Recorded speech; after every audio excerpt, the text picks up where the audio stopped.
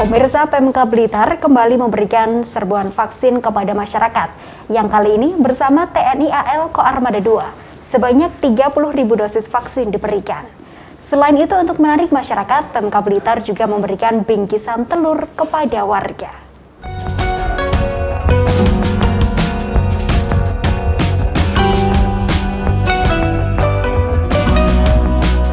Kabupaten Blitar optimis mampu mencapai target herd immunity sebelum akhir tahun ini. Salah satunya melalui adanya serbuan vaksinasi yang digelar oleh TNI AL Komando Armada 2 bersama pemerintah Kabupaten Blitar.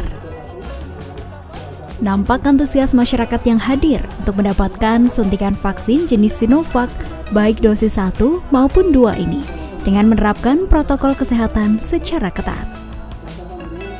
Vaksinasi yang digelar Pemka Blitar selama dua hari ini bertempat di pendopo Kabupaten Blitar, Kanigoro, karena memiliki lokasi yang luas dan ruangan terbuka, sehingga dapat mengurangi kerumunan warga yang mengikuti vaksin.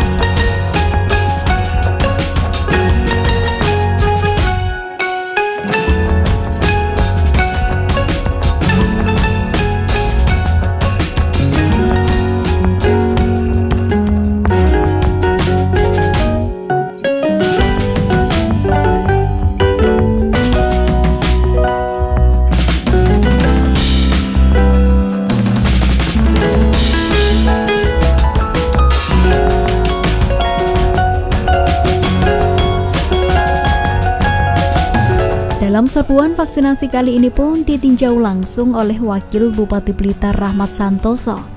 Turut mendampingi Komandan Satgas Serbuan Vaksinasi Ko Armada 2, PLT Kepala Dinas Kesehatan Kabupaten Blitar, dan Kepala BPBD Kabupaten Blitar.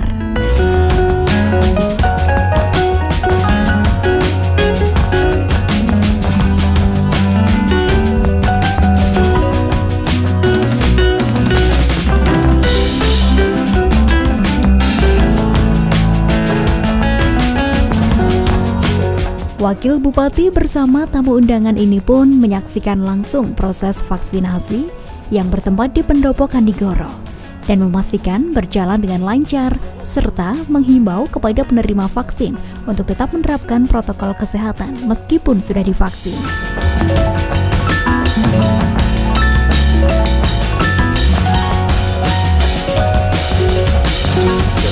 Juga ada menyiapkan untuk vaksin, untuk percepatan.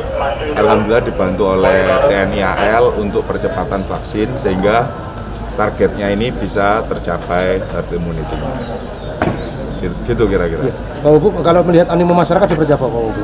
Lah ini kan jenengan tahu sendiri udah cukup kemarin aja sampai hampir 4.000 hampir 4.000 hari ini baru hari ini sudah 2.000 lebih ya kan Nah, terus kemarin yang hasil dari urunan ASN itu kita belikan telur semua. Jadi supaya semuanya sehat lah, semua masyarakat Kabupaten Blitar ini sehat. Jadi yang vaksin hari ini dapat hadiah telur. Pak Babu, jumlah bantuan vaksin yang dari uh, TNI AL berapa Pak Babu? Berapa? Tiga puluh ribu. Tiga puluh ribu. Jenis vaksinnya apa Pak Babu? Sinovac. Sinovac. Ya. Terus uh, dosis satu apa dosis dua Pak? Dosis satu dua bisa. Oh Bu, ini pesertanya apakah hanya dibatasi khusus warga Kabupaten Blitar saja bagaimana? Enggak, semuanya boleh.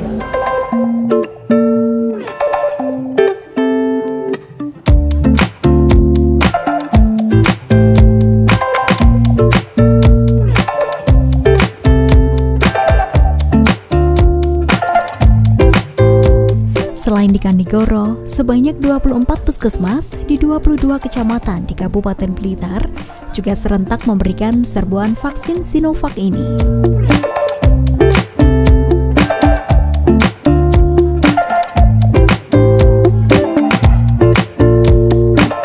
Sebelum dilakukan penyuntikan vaksin, penerima vaksin harus melalui tahapan screening atau pemeriksaan kesehatan. Pada tahap ini, penerima vaksin dilakukan pengecekan tekanan darah dan beberapa pertanyaan pendukung terkait dengan kondisi kesehatan maupun penyakit penyerta sebagai syarat mengikuti vaksinasi.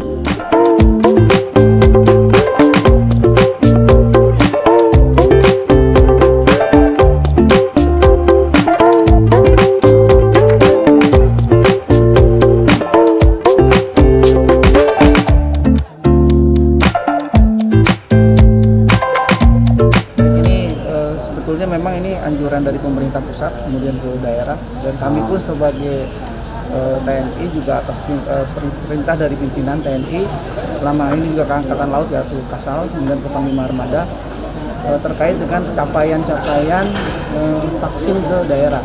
Ada beberapa daerah di Jawa Timurnya sudah kami laksanakan, terutama ini Blitar ini sangat responsif sekali dan sangat istilahnya tuh apa eh, menerima sangat baik kepada kami sehingga kami juga di sini capaiannya dari eh, Kabupaten Blitar terutama sehingga akhirnya Bapak Panglima juga eh, menyiapkan 30.000 vaksin ini ke Kabupaten Blitar dan sangat direspon Akumulasinya ada berapa dosis? 30.000 kalau yang di